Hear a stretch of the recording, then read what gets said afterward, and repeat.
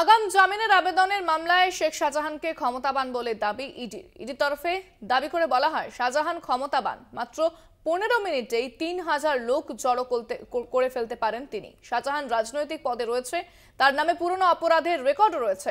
আগাম জামিন পেলেই শেখ শাহজাহান লন্ডনে চলে যেতে পারেন। আদালতে সওয়াল ইডির।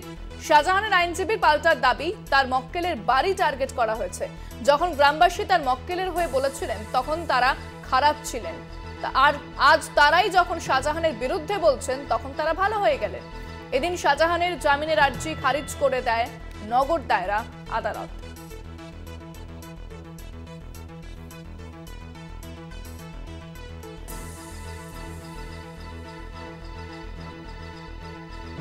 শাহজাহানকে ক্ষমতাবান বলে উল্লেখ ইডির শাহজাহান রাজনৈতিক পদে রয়েছেন, পনেরো মিনিটেই বহু লোক জড়ো করে ফেলতে পারেন।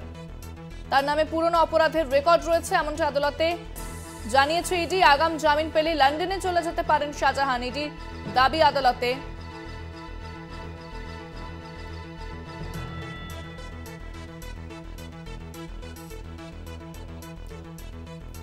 বিস্তারিত কথা বলব। ফোনে রয়েছেন আমাদের প্রতিনিধি পীযুষ কান্তি নাথ পীযুষ শাহজাহানের আগাম জামিন খারিজ করে দেওয়া হয়েছে, তার পক্ষে বেশ কিছু যুক্তি দাঁড় করিয়েছে ইডি। কি জানা যাচ্ছে বিষয়ে?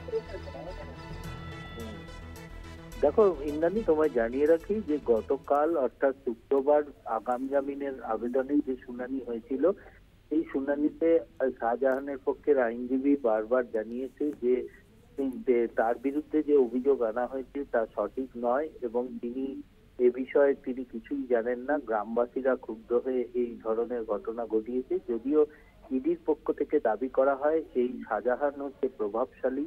এবং পাশাপাশি এই শাহজাহানের ডাকে আটশো থেকে হাজার লোক জড়ো হয়েছিল যেদিন ইডি অফিসাররা তাকে সার্চ করতে গেছিলেন তার বাড়িতে।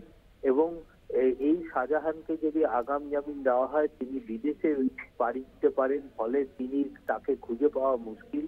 এবং এই বেরোলে বিভিন্ন নথি প্রমাণ নথি নষ্ট হওয়ার সম্ভাবনা রয়েছে।